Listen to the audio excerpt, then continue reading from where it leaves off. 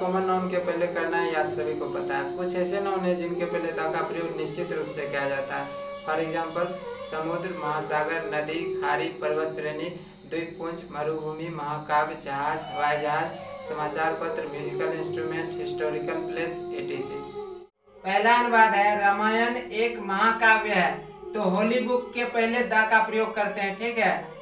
The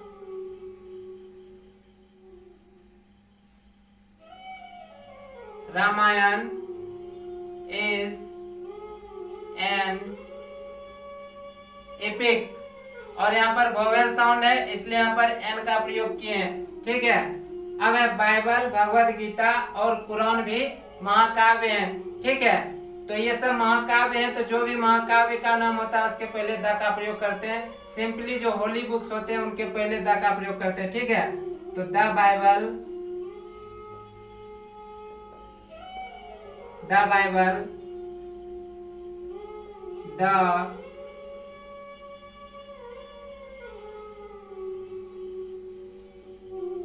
Bhagavad Gita and the Quran are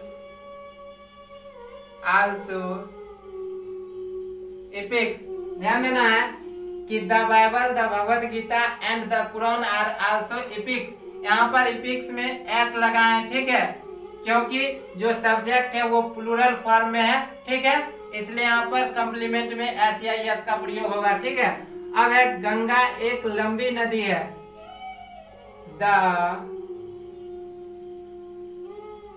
Ganges, English में Ganges लिखते हैं, ठीक है? The Ganges is a long river. अब है गंगा बहुत प्रसिद्ध है। The Ganges is very famous Yamuna, Burhi Gandak और बागमती भी प्रसिद्ध नदियाँ हैं। The Yamuna the Burhi Gandak and the Bagmati are also famous rivers. Yamuna Burhi Gandak और बागमती भी प्रसिद्ध नदियाँ हैं। The Yamuna, the Burhi Gandak and the Bagmati are also famous rivers ठीक है? अब हिमालय भारत के उत्तर में है। The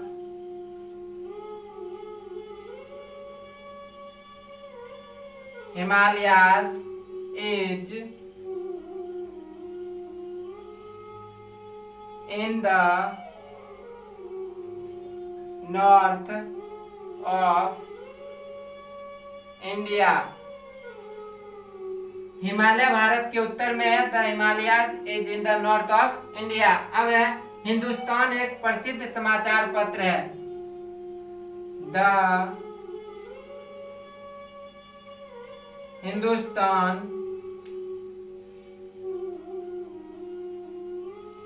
is a famous newspaper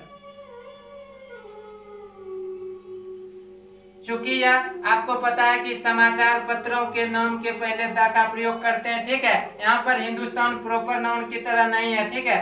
समाचार पत्र का नाम है, इसलिए यहाँ पर द का प्रयोग हुआ है। अब तबला बिहार में प्रसिद्ध है। The tabla is famous in Bihar musical instrument है, इसलिए इसके नाम के पहले द का प्रयोग किए हैं। हारमोनियम एक वाद्य यंत्र है। The harmonium is a musical instrument यह भी क्या है? म्यूजिकल इंस्ट्रूमेंट है, इसलिए इसके पहले भी द का प्रयोग किए हैं। हारमोनियम एक वाद्य यंत्र है। The harmonium is a musical instrument अब है, ताजमहल बहुत प्रसिद्ध है। तो हिस्टोरिकल प्लेस है, इसलिए द का प्रयोग करेंगे। The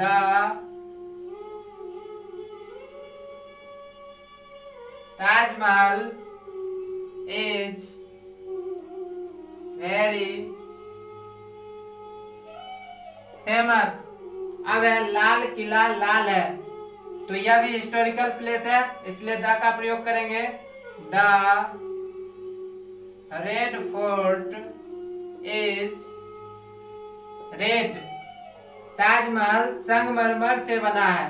हिस्टोरिकल प्लेस है तो द का प्रयोग करेंगे। The Taj Mahal made of marble अब है रिपल्स एक जहाज़ था। आपको पता है, जहाज़, हवाई जहाज़ इस सब के नाम के पहले भी द का प्रयोग करते हैं। तो द का प्रयोग करेंगे, the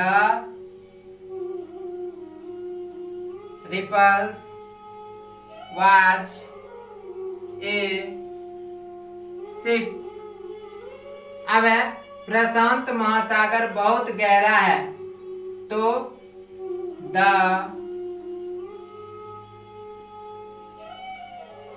Pacific Ocean is very deep आपको यह भी पता है कि किसी भी समुद्र या महासागर के नाम के पहले द का प्रयोग करते हैं। तो प्रशांत महासागर बहुत गहरा है। The Pacific Ocean is very deep अब है, बंगाल की खाड़ी बहुत गहरी है। The Bay of Bengal is very deep Bengal की खाड़ी बहुत गहरी है। The Bay of Bengal degree के पहले द का प्रयोग किया जाता है। फॉर एग्ज़ाम्पल सीता सबसे सुंदर लड़की है। Sita is the most beautiful girl Ram सबसे अच्छा लड़का है। Ram is the best boy यदि एडजेक्टिव का प्रयोग नाउन के तरह हो, तब उनके पहले द का प्रयोग किया जाता है। For example the poor are honest the blind are helpless यहाँ पर द पुअर और द ब्लाइंड को प्लूरल नंबर में समझा जाता है। हेवनली बॉडीज यानी कि आकाशीय पिंडों के नामों के पहले द का प्रयोग किया जाता है। For example the moon the earth the sun the Saturn the Mars ETC कर्म सूचक संख्याएँ जब अक्षरों में लिखी जाती है, तब उनके पहले द का प्रयोग किया जाता है। The first boy the second girl ETC पहला अनुवाद है, श्यामा मेरे मोहल्ले की सबसे सुंदर लड़की है। तो पहले सब्जेक्ट लिखेंगे। Shyama is the most beautiful girl of my ward. आप वार्ड या फिर स्ट्रीट भी लिख सकते हैं। ध्यान देना है कि श्यामा मेरे मोहल्ले की सबसे सुंदर लड़की है। Shyama is the most beautiful girl of my ward या फिर आप लिख सकते हैं ऑफ़ माय स्ट्रीट यहाँ पर ध्यान देना है कि मोस्ट क्या है? सुपरलेटिव डिग्री है, इसलिए इसके पहले द का प्रयोग किया गया है। अब है, वह मेरे वर्ग का सबसे तेज लड़का है। He is the most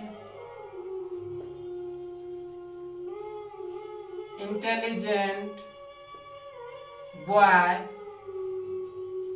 of my class ध्यान देना है कि वह मेरे वर्ग का सबसे तेज लड़का है। He is the most intelligent boy of my class अब यहाँ पर द का प्रयोग इसलिए किए हैं क्योंकि मोस्ट क्या है? सुपरलेटिव डिग्री है। अब यह परीक्षा के लिए सबसे महत्वपूर्ण प्रश्न है। This is the most important question for the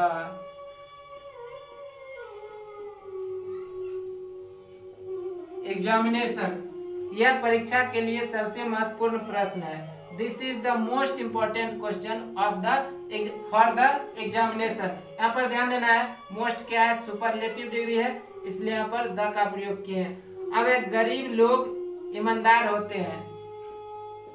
the poor are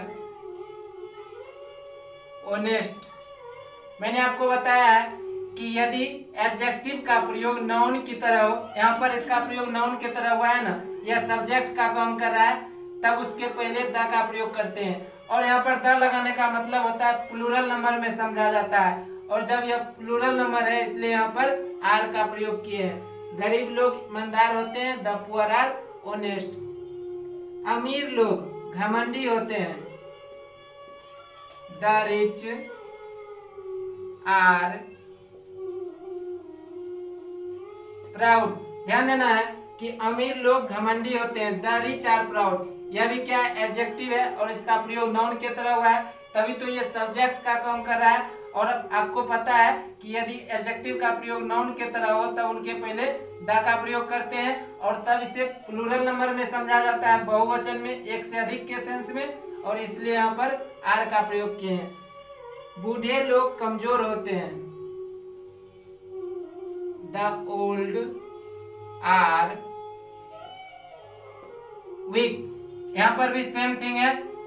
adjective का प्रयोग नाउन के तरह हुआ है, इसलिए द का प्रयोग किए हैं प्लूरल सेंस है, इसलिए आर का प्रयोग किए हैं।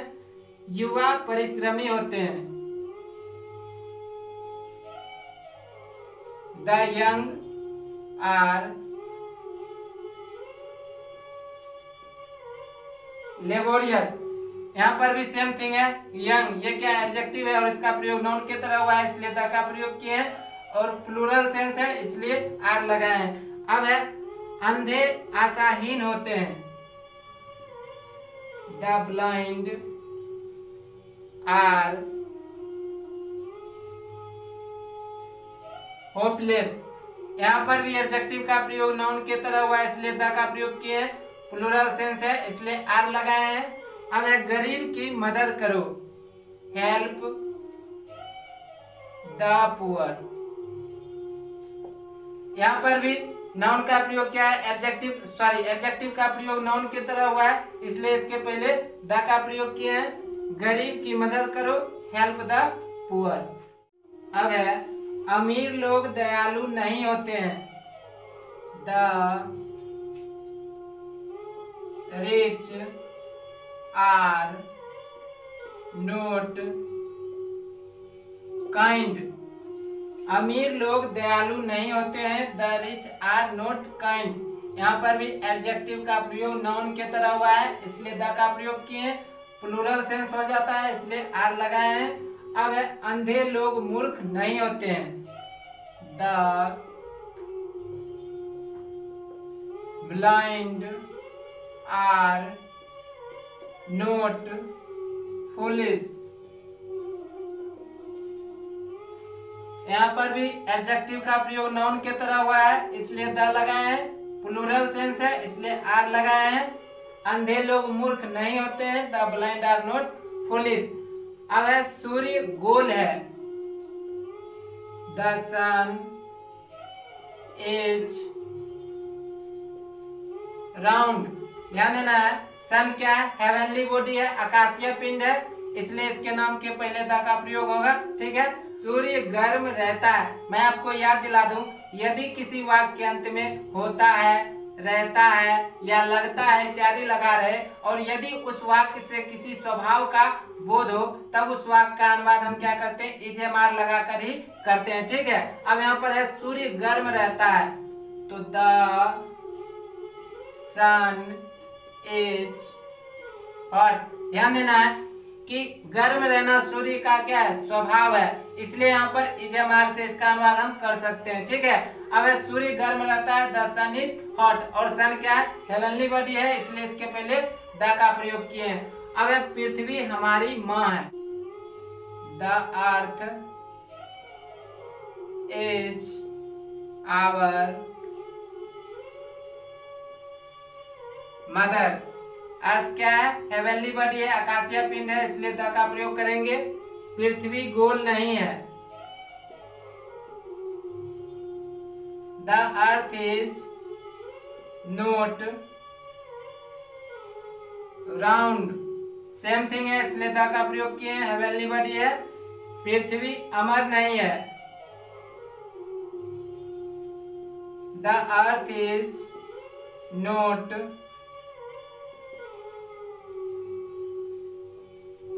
immortal. Heavenly body इसलिए द का प्रयोग किए हैं। चाँद प्यारा है। द मून इज़ लवली आकाशीय पिंड है। हेवनली बॉडी इसलिए द का प्रयोग किए हैं। चाँद आकर्षक है। द मून इज़ एट्रैक्टिव चाँद आकर्षक है। द मून इज़ अट्रैक्टिव यह भी हेवनली बॉडी है। आकाशीय पिंड, इसलिए द का प्रयोग किए हैं। आकाश नीला है। The sky is blue heavenly body the का प्रयोग किए हैं। तारा चमकीला होता है। The star is bright heavenly body है, इसलिए द का प्रयोग किए हैं। सीता पहली लड़की है। Sita is the first girl यहाँ पर ध्यान देना है, सीता पहली लड़की है, Sita is the first girl मैंने आपको शुरू में बताया, यदि क्रम सूचक संख्याओं को अक्षरों में लिखा जाता है, तब उनके पहले हम द का प्रयोग करते हैं, ठीक है? जनवरी साल का पहला महीना होता है। January is the first month of the year. जनवरी साल का पहला महीना होता है। January is the first month of the year. आपको पता है कि क्रम सूचक संख्याओं यानी कि ऑर्डिनरी नंबर को यदि शब्दों में लिखा जाता है तब उसके पहले द का प्रयोग किया जाता है। अब ईमानदारी सबसे अच्छी नीति है। Honesty is the best policy आपको यह भी पता है कि सुपरलेटिव डिग्री के पहले द का प्रयोग किया जाता है। ईमानदारी सबसे अच्छी नीति है honesty is the best policy. अब है यह दसवा प्रश्न है। This is the tenth question ध्यान देना है यह दसवा प्रश्न है। This is the tenth question ordinary number को शब्दों में लिखा गया वर्ड्स में लिखा गया है, इसलिए उसके पहले जनरली प्रॉपर नाउन या अनकाउंटेबल नाउन के पहले आर्टिकल्स का प्रयोग नहीं किया जाता है।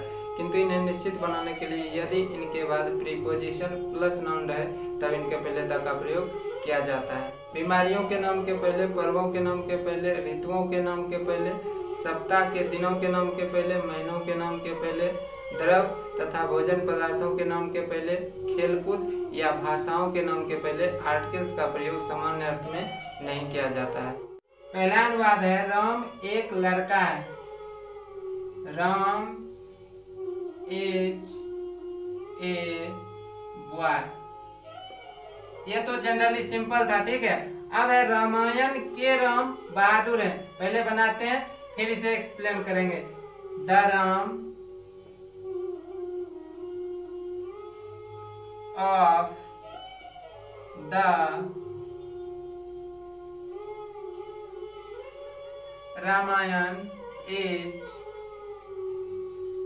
brave ध्यान देना है कि the Ram of the Ramayana is brave आपको पता है कि जनरली प्रॉपर नाउन या फिर अनकाउंटेबल नाउन के पहले द का प्रयोग नहीं करते हैं। किंतु यहाँ पर क्या है? कि प्रॉपर नाउन के बाद प्रीपोजिशन लगा हुआ है और प्रीपोजिशन प्लस एनोदर नाउन है, ठीक है? इसलिए यहाँ पर द लगा सकते हैं। दूसरा बात, ये क्या है रामायण? ये तो एक महाकाव्य है और आपको ये भी पता है किसी महाकाव्य या होली बुक के पहले द का प्रयोग नहीं करते हैं। किंतु यहाँ पर द का प्रयोग निश्चिता का बोध कराने के लिए किया गया है। The Ram of the Ramayana is brave अब है कालिदास एक महान कवि हैं। Kalidas is a great poet अब है, वे भारत के शेक्सपियर हैं। यहाँ पर वे आदर सूचक है, इसलिए ही का प्रयोग करेंगे, ठीक है? ही इज़ वे भारत के शेक्सपियर हैं। He is the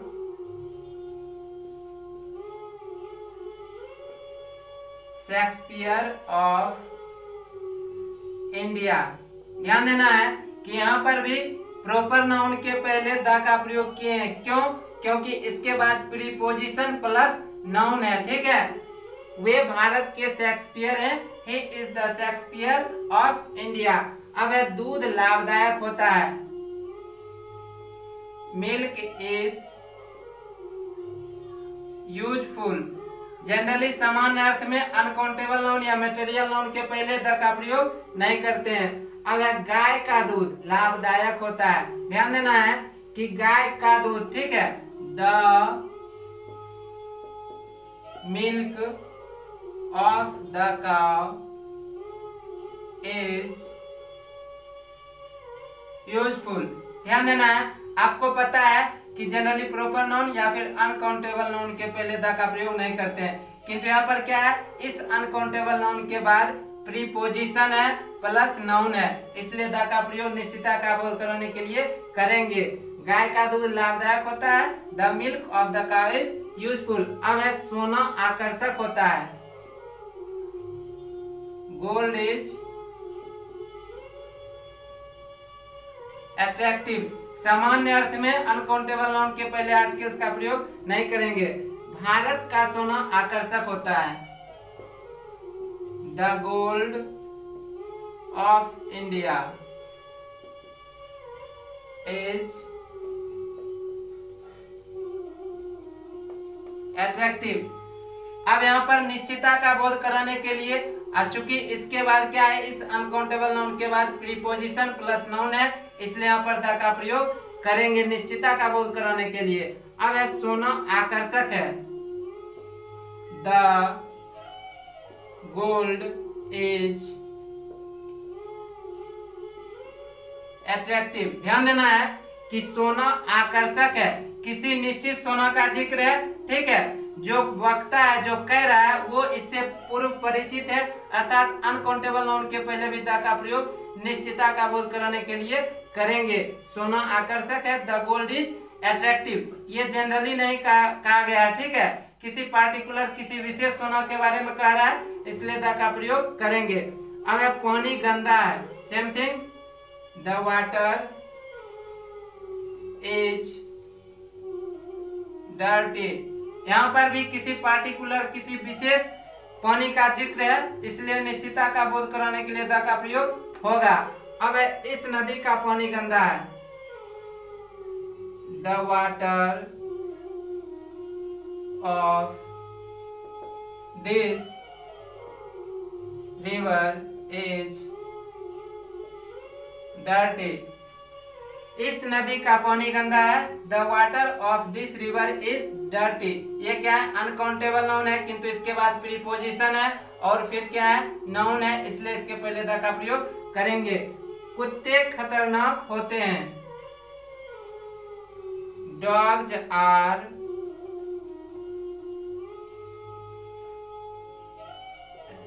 डेंजरस आपको पता है कि कुत्ते खतरनाक होते हैं। जनरली प्लूरल काउंटेबल नाउन या कॉमन नाउन के पहले द का प्रयोग नहीं करते हैं। कुत्ते खतरनाक होते हैं, dogs are dangerous.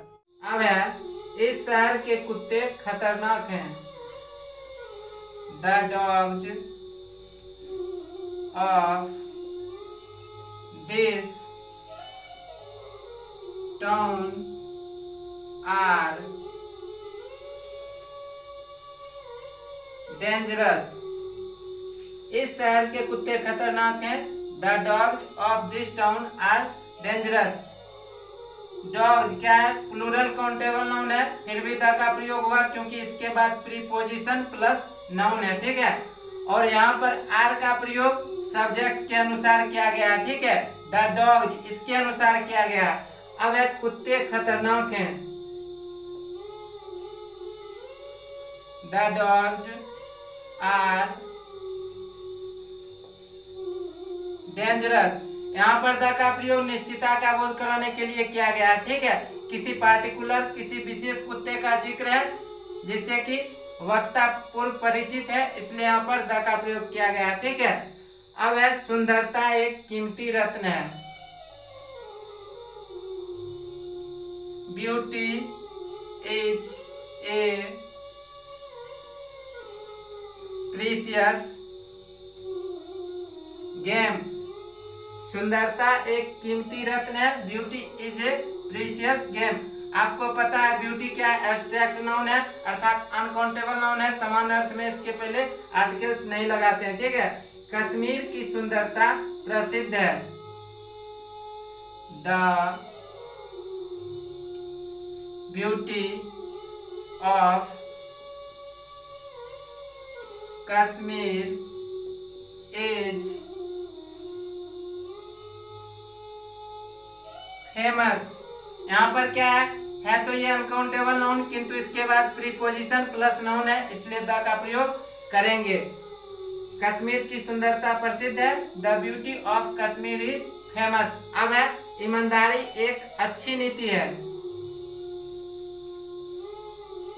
Honesty is a good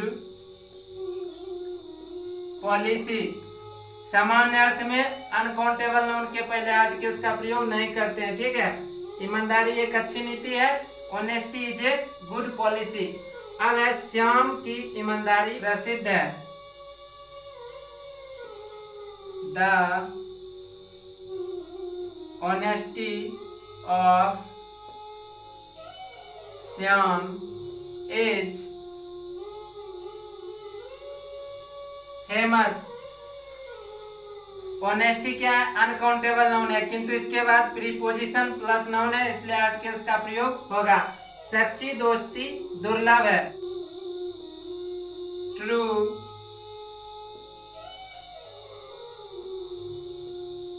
true friendship is rare ध्यान देना है फ्रेंडशिप क्या है? एब्स्ट्रैक्ट नाउन है अनकाउंटेबल नाउन है। ठीक है, इसलिए आर्टिकल्स का प्रयोग नहीं करेंगे। ट्रू फ्रेंडशिप इज़ रेयर अब है सच्ची दोस्ती दुनिया में सबसे अच्छी चीज़ है। True friendship is the best thing in the world ध्यान देना है कि true friendship is the best thing in the world यहाँ पर जो आर्टिकल्स का प्रयोग किए हैं, क्योंकि यह क्या है? सुपरलेटिव डिग्री है, इसलिए इसके पहले आर्टिकल्स का प्रयोग करेंगे, ठीक है? अब राम और सुग्रीव की दोस्ती अनुकरणीय है। The friendship of Ram and Sugriva is imitable ध्यान देना है, राम और सुग्रीव की दोस्ती अनुकरणीय है। The friendship of Ram and Sugriva is imitable अब है, यहाँ पर इज़ का प्रयोग क्यों किए हैं? कारण है, यहाँ पर इजेमार का प्रयोग जो होता है, इसके अनुसार होता है। द फ्रेंडशिप ठीक है, इसके अनुसार होता है, ठीक है। अब है कृष्ण और सुदामा के बीच की दोस्ती प्रसिद्ध है।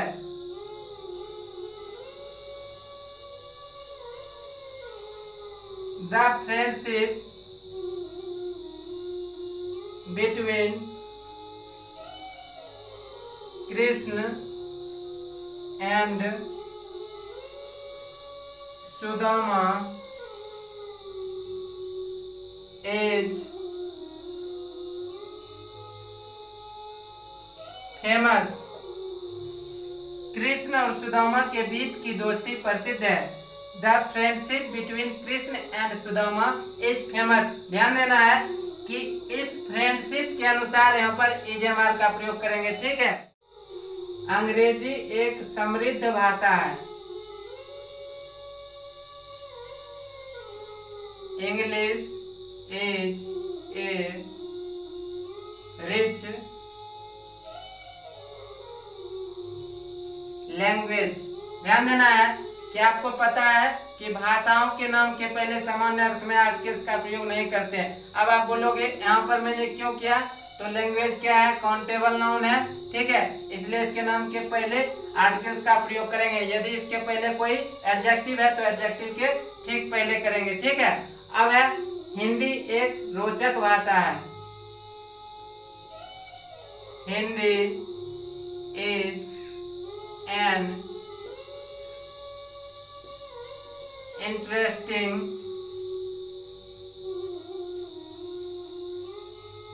Language same thing है है उत्तर प्रदेश की हिंदी अच्छी है। The Hindi of Uttar Pradesh is good ध्यान देना है, उत्तर प्रदेश की हिंदी अच्छी है। The Hindi of Uttar Pradesh is good ये भी क्या है? लैंग्वेज है। किंतु इसके पहले द का प्रयोग किए हैं, क्योंकि इसके बाद क्या है?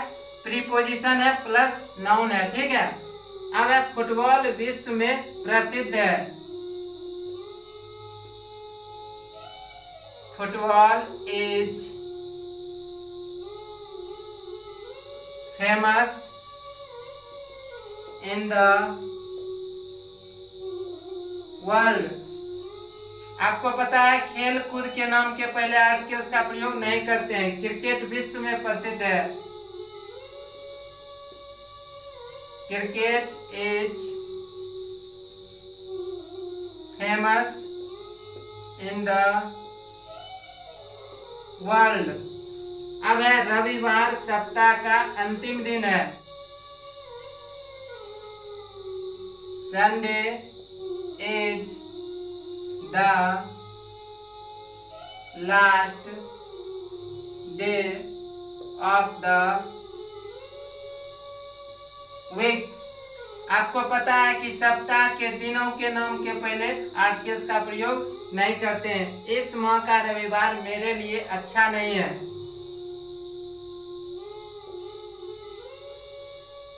The Sunday of this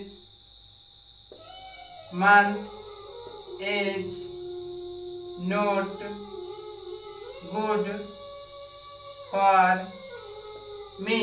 किंतु यहाँ पर सप्ताह के दिन के नाम के पहले आर्टिकल्स का प्रयोग, द का प्रयोग इसलिए किए हैं क्योंकि इसके बाद प्रीपोजिशन प्लस नाउन है, ठीक है? अब है, इस माह का रविवार मेरे लिए अच्छा नहीं है। तो the Sunday of this month is not good for me अब है कि जनवरी साल का पहला महीना है। January is the first month of the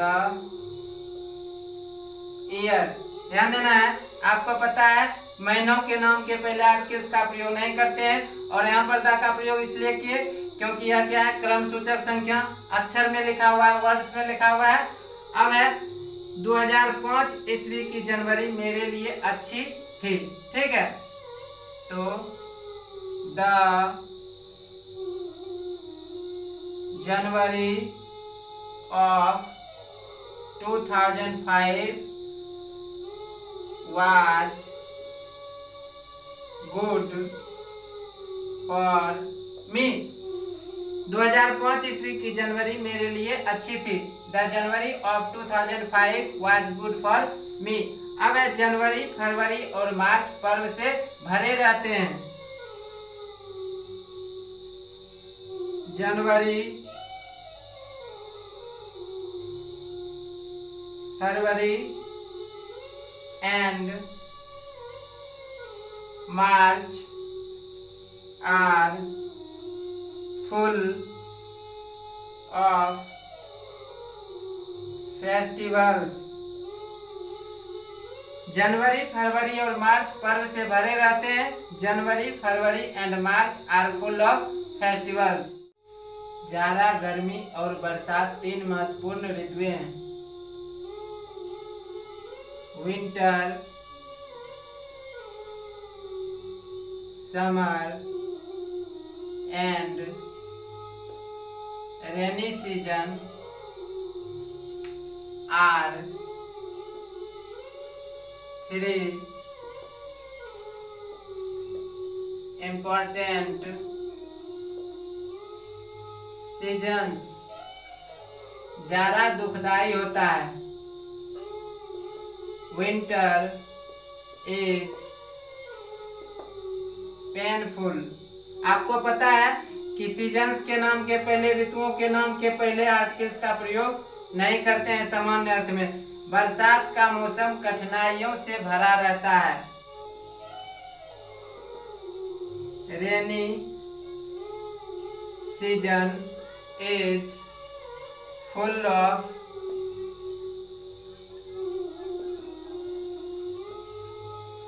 difficulties बरसात का मौसम रेनी सीज़न ठीक है? इसके लिए बरसात का मौसम रेनी सीज़न ठीक है? बरसात का मौसम कठिनाइयों से भरा रहता है। Rainy season is full of difficulties और इसलिए सब्जेक्ट के अनुसार यहाँ पर इज़ का प्रयोग किए हैं। अब लकवा बहुत खतरनाक बीमारी है।